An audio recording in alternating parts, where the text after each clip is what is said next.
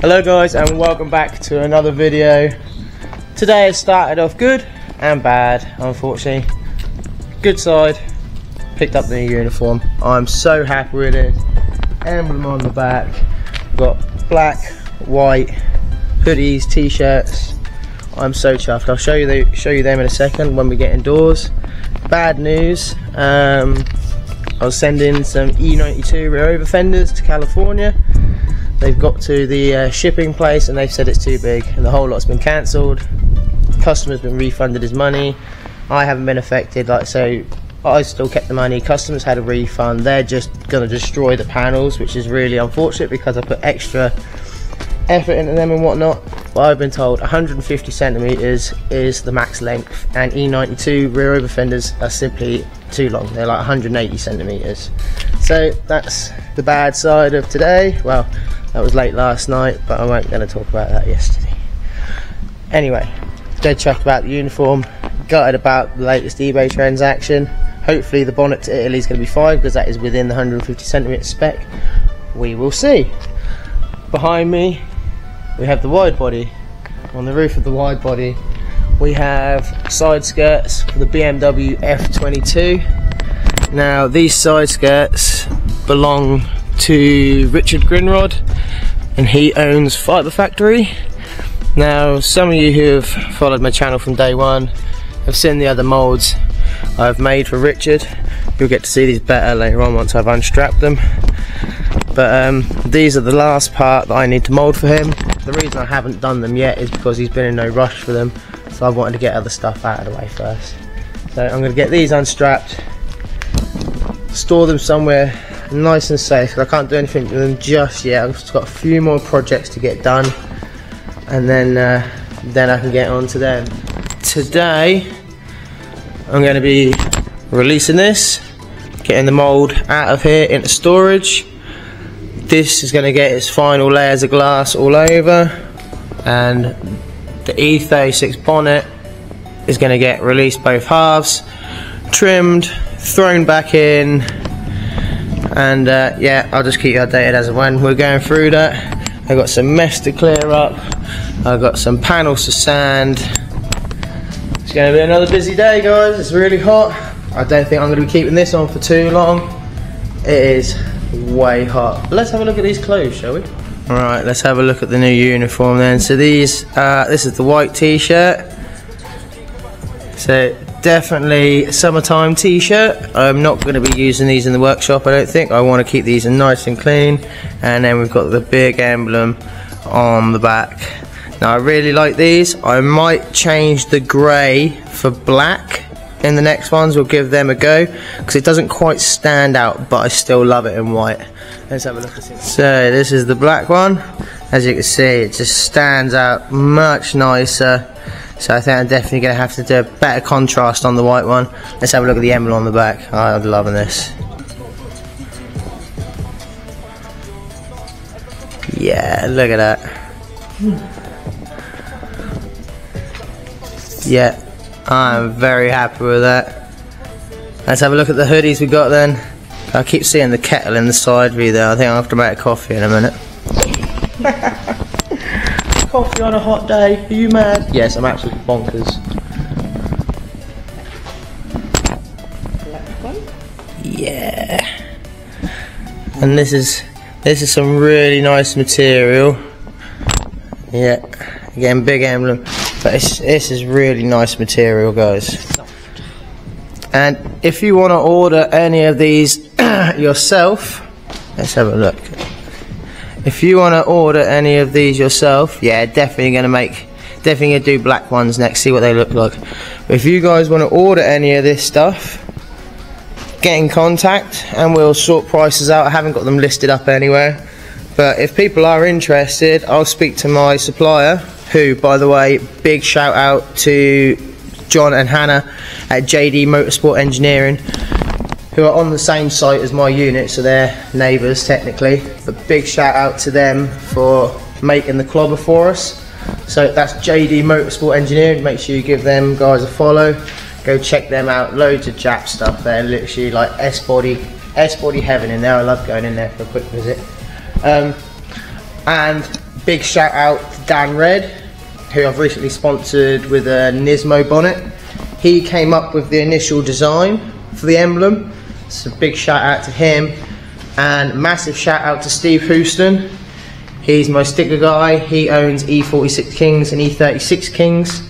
And he's the one who took Dan's original design and vectorized it, made it all, you know, spot on and files that I could use to then hence send off send off to John and Hannah to get the clothes done, have stickers done, send off to sponsored drivers so they can have the emblem incorporated in their liveries and whatnot.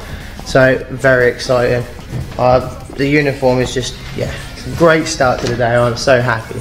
But that's enough talking. I need to get some work done. Let's get in this, guys. Peace. And that is the rear clam with all of its final layers on the main portion of the mould. I'm going to leave this to cure. I will try and green trim it with a Stanley blade if I catch it at the right time but I got a lot of other stuff on today so I'm probably going to miss miss the timing on this but that doesn't matter. That's what a grind is for. So that's curing. We'll get onto that either later or tomorrow. The second E30 rear bumper is now out of the mould Remember from my last video I said this is an extra heavy one because I'm going to be building a valance onto the bottom of this and I want it to keep its strength properly like that. And that's yep that's what I was looking for. No twist or flex across the part. So that's going to hold it shape lovely. These I know you can't see them very well on the black black table but they are the rear skirt attachments. Again, M3 skirt won't fit your M Sport or your SE. It is for the M3, and only if you're trying to cut out your cut your back out and flare it out. You know, who doesn't love modifying their car to the max? Anyway, that's for those who are brave enough to go that wide. And I've now got the F22 wings in from outside hopefully I can get on these in the next week or so because I need to get these done. But there's a smart looking skirt. And you can tell how much how much wider the body went on this as well. That's where this is where the original body line would have been. And yeah. And this is the next bonnet. Fresh out of its mold mold is still looking lovely and clean and shiny. Came out beautifully as always I don't tend to have too much problem with the bonnets with this bonnet. I mean there's there's this detail but it's not that much detail. There's not much that's going to hold it in the mold um, I can't release this yet as I still need to fit the M6 threaded metal fixings. So for the lock hoops at the front of the bonnet and for the hinge attachment. So you've got four along here. So I've just prepped these areas. I'm now going to clean them up so I've got to bond the metal fixings in, let the Bondo go off, sand the Bondo smooth enough that I can then get a layer of glass over it so that it's fully secured and there's not going to be any any chance of them coming loose in the future. And just to prove that that is the second E30 rear bumper, the other one's hiding behind here. So I doubt I'm going to get much more laminating done today as I now have a mountain of trimming and sanding to do. Yeah so that's what I'm now going to get on with. So the metal fixings I use for any of my bonnets and doors and whatnot whether they're M6 or M8 or sometimes even M10 I use these. I've got male and female versions and they're called big heads. So that's the female version. This one has a capped end but you can get them with open ends. I actually prefer it with an open end. It's just I got these ones because they were cheaper bye bye. And this is the male one. It has a much bigger base on it, but again, they both they both have perforated bases on them. So I'll use the female ones for the lock hoop points, and for these hinge points here, and then at the back, I use the male ones. They'll go through get bonded in. Because these ones enable you to just fit the bonnet solo nice and easy because the threads obviously poke out the other side. So I've now got to get all this cleaned up, get all the dust off here, and yeah, get these bonded in, glassed in. Once that's cured, I can then release this from the mould. Because I don't want to release this from the mould, trim it, chuck it back in, and it not quite line up by you know a couple of mil. This ensures I get perfect fitment on every single bonnet I do, or door or whatever. So we'll see. I mean, Dan Red was very happy with his one. It fit pucker. I can't wait to see his one painted. So, yeah, I'm to crack on with this. Excuse me. I'm to crack on with this, and uh, yeah, I'll see you in the next one. And that's the metal fixings, all bonded and glassed in. I do apologise that my GoPro is creating a shadow right where I want to show. But yeah. So once these are cured, I'll green trim these frilly bits on the side and then pop it out and get trimming. I've also managed to get this green trim now so I can wait for this to cure properly and then pop all this temporary flange off and start the next portion. Yippee! Right, unfortunately, I'm having a really short day today. Um, didn't get here till about two o'clock. I think it was about half two. Had a slow start to the morning. You know, I got stuff I had to do at home. Bath the dog. Clean out the guinea pigs. You know. So anyway, I had to do a load of fucking housework this morning. Didn't get in till yeah, stupid time. It's now only what nine o'clock so yeah, we've got too much done unfortunately. Well, we released the bonnet.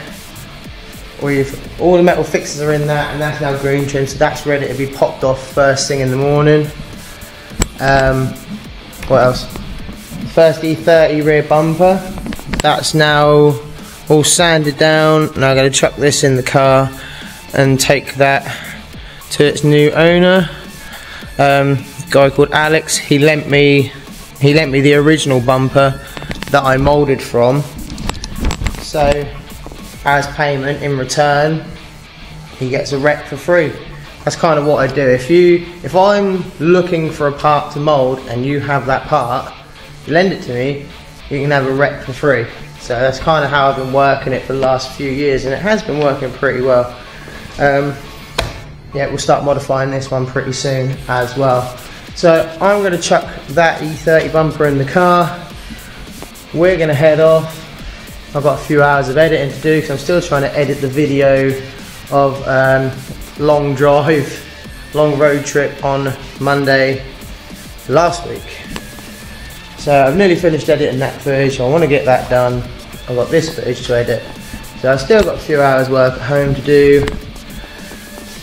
And then, yeah, I've got to be back here early tomorrow because I've got a new bin turning up, you know, big bin turning up. And I've still got a whole load of sanding, a whole load of grinding to do, and bonding. So that's going to be it for today, unfortunately. I wish I had more for you today, but it is what it is. I think it's only been like a six hour day, if I'm lucky, work wise. Like I say, I'm going to go home do some work on the computer.